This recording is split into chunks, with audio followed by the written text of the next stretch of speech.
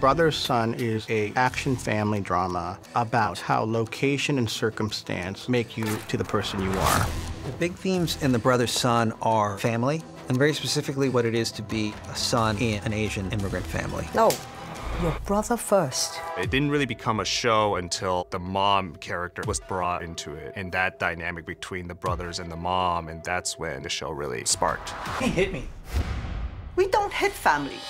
Michelle Yeoh plays Mama Sun. She's an icon of action movies. She's also an Oscar winner.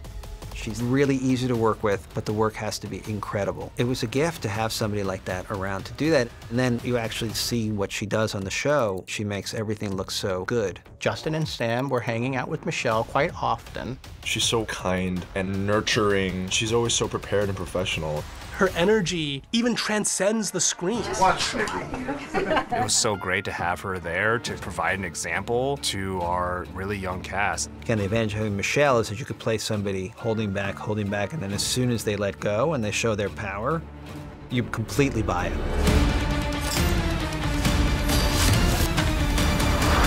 Mom?